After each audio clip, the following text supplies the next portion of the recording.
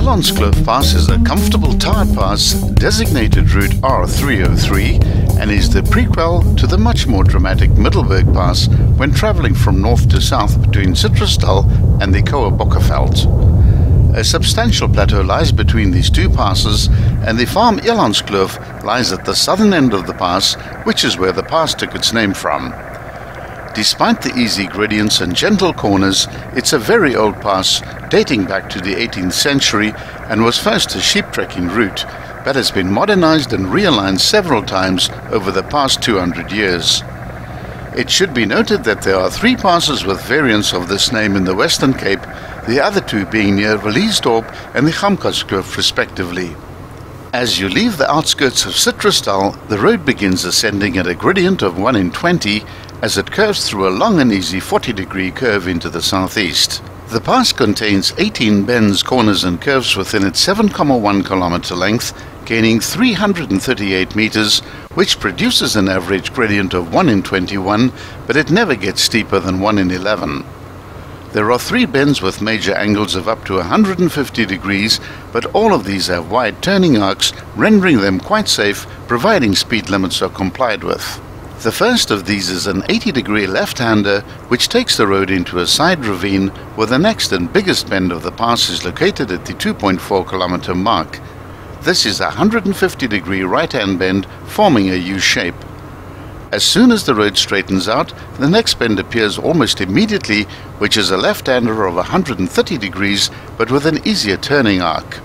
Another double S curve follows, which has mild corners of under 15 degrees.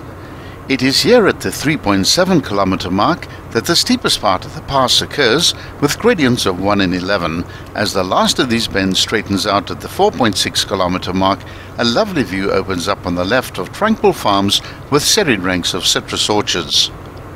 To the left of the farms are Palto and Lentulus. Look out for the peak on your right called Wolfkop, which has a summit of 726 meters.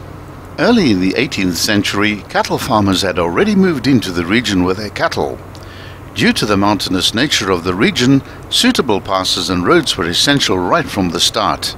The passes that originally gave access to the region were the Elandskloof, Witzenberg and Skurweberg passes, as well as those of Mostertshoek, Mitchells, Swaarmoed, Gydo, Karoopoort, Theronsberg and Hottentotskloof passes. The Elandskloof Pass is thus one of the oldest passes used by the stock farmers. It was replaced by the Middelburg Pass only in the 1940s. Once to the last of the S-bends, you're now faced with a long straight of 2 kilometers, whereafter the road bends gently to the left and aligns itself for the crossing of the Pointjies Rivier. This bridge is a single width, so scan the road ahead for oncoming vehicles and give way as required. Beyond the bridge, the tar soon gives way to gravel, and after one kilometer, the western start of the Middelburg Pass is reached. The Elandskloof farm and valley is to your right, and the pass was named after it. As the bridge is approached, two distinct mountains are visible ahead and in the distance. The smaller peak on the left is Toppiesberg at 906 meters, and the bigger one is Mielsteenkop at 1224 meters.